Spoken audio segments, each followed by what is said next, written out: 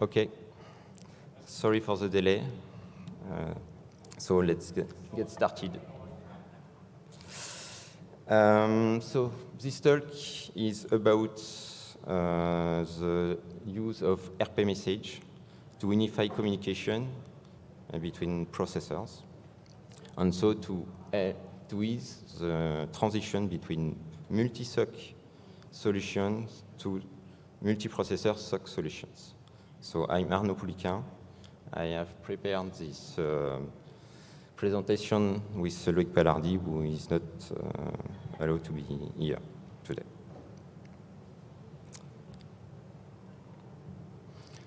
So let's introduce myself. Arnaud Pouliquen, I'm French.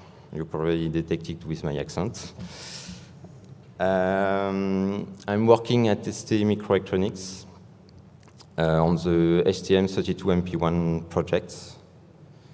Uh, I have few contributions in the open source communities, uh, in Linux for ST drivers mainly. I also participated last year to improve the OpenAMP library and decrease uh, its footprint. And uh, I introduced the STM32MP1 uh, platform in Zephyr. Sorry. So what is the, the scope of this presentation? So I will speak about multi-SOC solution, multi-processor SOC solution. Uh, let's detail what I want to, to say by this uh, wording. Multi-SOC solutions, it's solution where we have several processors communicate together, but uh, these processors are in separate uh, SOCs. So communication is through a physical link. Uh, here we will focus on a serial link. And multi-processor SOC solution is, process, uh, is a SOC that embeds several processors that, uh, that communicate together through uh, shared memory or mailbox or both. And mainly, uh, in this case, we use the, RP message. So the presentation here is to explain how we can migrate from one solution to the other solution, uh, but we will focus only on the intercommunication between processors. I consider that uh, you have a distribution and OS that should help to switch from a platform to another platform thanks to an abstraction layer. But today, there is no real solution for the interprocessor communication to be able to preserve the application. An overview of uh, the RP message. Sorry. So, uh, ST use uh, some open solution, uh, oh, sorry, some open source solution. So on Linux, we use the RP message framework that is rely, that is relying on a shared memory that is structured by a Virtio framework. And for the coprocessor, we use OpenAMP library that offers the same kind of services, but for non-Linux kernel solution. What is a RP message? It's a simple message. You have a header, you have a, a payload. The header contains the source and the destination address. The source or the destination address can be local or can correspond to the remote address, so the, the other processor. What is interesting on RP message is that it offers a, system of services that can, can share, share sorry, on the same physical link. Uh, that means that you can provide diversity, a diversity of services uh, on top of RP message. It will share the resource. And then that allow to implement different features on a coprocessor. So a service is implemented in a channel, and then each application or driver can connect an endpoint that is the logical link with the coprocessor through the channel.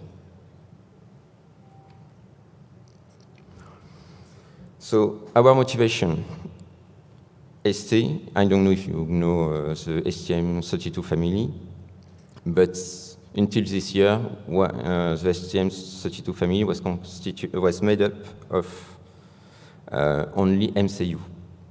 So you can run several OS on it, or distributions. You can run, use it in standalone, but we have some customers that use it with, as a coprocessor with an application processor. To communicate with this MCU, they use mainly a serial link. Now we have a solution that integrates, embeds an MPU, so an application processor, and a coprocessor. We still be able to run our solution on the coprocessor, and we run Linux on the application processor. This time, we use the shared memory to for the interprocessor communication based on RP message. So the, the challenge here is how can we help our customer to migrate from a multi-SOC solution to our solution, I would say. Then, when they use our solution, they implement several services on top of the RP message uh, to initiate some communication between our, the application processor and the coprocessor. But they can want also to, to um, extend the capability of the platform. So to add an external coprocessor. That means that we go from a integrated system in one SOC to a multi-SOC solution. So we have also to, to be able to preserve the application, to offer the possibility to have multiple services on top of the serial link that allow to communicate with the external coprocessor. And so we propose to use also RP message in this, uh, for this solution. So let's focus first on the migration from a multi-SOC solution to a multi-processor SOC solution. So what about the, the, the software to, to migrate from one solution to the other? On the Linux side, so on Linux, on the left you have the solution based on a serial link, you want to preserve your application, so to preserve the API you offer uh, to the application or a client driver. So the solution is to implement a virtual driver over, over RP message. This driver is platform independent, so could be generic. I know that several companies already implement this kind of drivers. And with this driver, you are able to simulate a serial link and offer the same API to the application. So here is some example of uh, common serial link. So we can apply this to uh, SPI, UART, I2C. It's always a kind of implementing a virtual channel over RP message. Now let's focus on the coprocessor side. So as mentioned, you can run on the coprocessor a proprietary solution, or you can run some uh, open source OS like uh, Zephyr, ARM Mbed, uh, Arduino, and some other one. Um, the main difference here is yeah, that you are OS dependent you should be still platform independent because you have your OS that provides the abstraction layer, but you depend on the OS. That means that you cannot have a generic solution for all the OS. You can just have a generic architecture solution. Here, the solution is based on uh, OpenMP, sorry, and, and we have to adapt the driver to provide the wrapper between your uh, serial API and the RP message. what is the status today in terms of implementation? Um, we have already implemented on the Linux side the RP message TTY, the RP message I2C, the RP message SPI. We started the stream of the RP message TTY. On the coprocessor firmware uh, side, uh, we have some example available. We not, do not share it uh, at this time, but we have some virtual driver available for our solution, so the STM32Cube solution, but also in Zephyr. Now, transition from a multiprocessor SOC solution to a multi uh, SOC sorry, multi-SOC solutions. Uh, so this time, the concept is to implement RP message over the serial link. So you have to migrate from RP message over Virtio to RP message over a serial link. In this example, we, we have a NUART peripheral, so it's a NUART link. And what we propose is to replace the RP message SerDev bus, uh, sorry, the RP message Virtio bus that is implemented in the current uh, generic solution in Linux by a, a new RP message bus. So we will have the choice between uh, use the Virtio solution or the SerDev solution. For the coprocessor, it's quite the same story. Uh, we have to implement a SerDev bus, but this time we are OS dependent. So we also have to propose I would say, a backend API of the SerDev, uh, the, or the UART bus, sorry. And we have to adapt uh, a kind of RP message UART wrapper for each OS solution to be able to be compatible with uh, the, API proposed by the OS for, for the UART here. So the status for this uh, migration. Uh, so we implement, we have implemented uh, the SerDev bus. So now in our solution, we are able to choose between the Virtio and the serial bus. Uh, on coprocessor side, uh, today we do not modify the OpenAMP uh, library. It's more at a proof of concept level.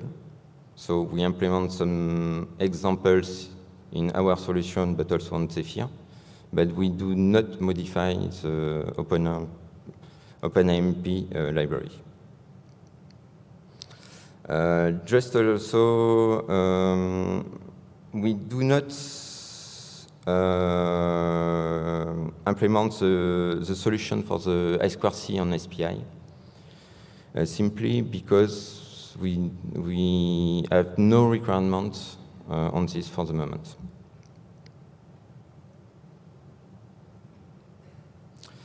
So what's next?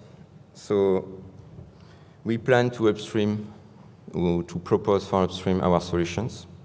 So the virtual RP message uh, drivers to be able to simulate uh, serial drivers over RP message but also the SerDev bus to be able to perform RP message over UART peripheral.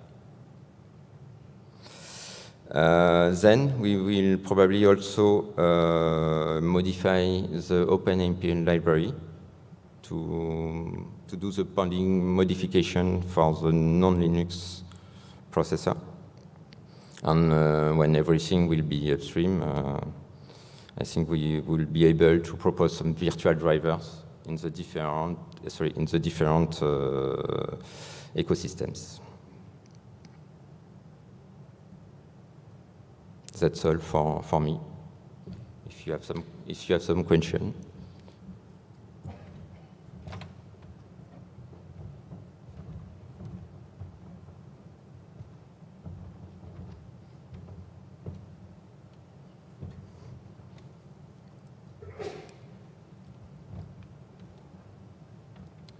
Uh, on the UART version of the protocol, is there any framing or error checking in addition to the fields that you show in that packet?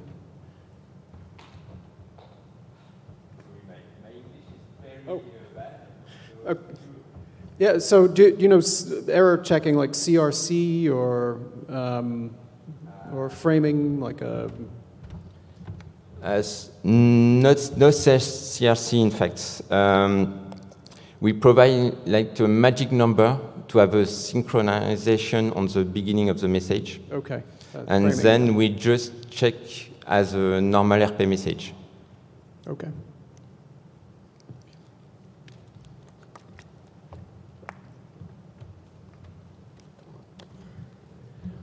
When you talk about uh, shared memory uh, between two processors on the same SOC, you talk about, for example, L2 cache sharing? Uh, no, but uh, in fact, when I speak about shared memory, it's a memory that is accessible from both processors. Uh, I don't know it's possible to use cache for this. Sometimes uh, many, sometimes there are a couple of cores that are sharing the L2 cache. Yeah, yeah, no, but yeah, no, we, I, I speak about uh, two, uh, two clusters, different clusters that not share the, the cache, in fact. But I don't think that if you can um, I, am not expert uh, to, to be able to answer if you can because for example the, in the in the booth that you have in uh, the the processor that you have on your booth there yeah. Is two uh, core uh, ARM seven yeah but uh, that are sharing the L2 cache yes but I speak here about communication between the A7 and the M4 so two separate cores so it's, it's only RAM. Uh, I think, I think you, you can have this kind of uh, use case if you have uh, some virtualization and you have uh, two, uh, I would say, uh, two OS running on one on each core. But I don't know if it is possible in this case to use the cache. I never tested. Okay, thanks.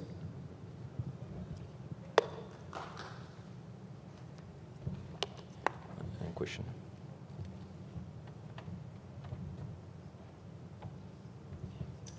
Uh, do you have some uh, measurement of the impact of the virtualization if you uh, if you use the um, the serial link with another processor and the RP message of uh, front of it? So you mean the virtual serial link or the RP message over the... Uh, the RP message over the, the real serial link? No, we do not perform measurements. Now, uh, I would say the, the limit is the max uh, rate you enable on, the, on the, your serial link. Then it depends on your message. If you have a, a big payload comparing to the header, uh, it will be more efficient than if you just send two, I would say two, two words uh, for in each message. Okay, of course, yeah.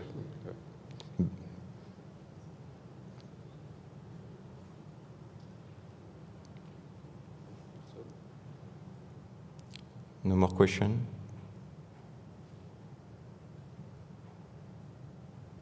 Okay, thank you very much for your attention. If you want to see some demo related to this pitch, you are welcome on the ST booth, or if you have uh, some other questions uh, related to this pitch.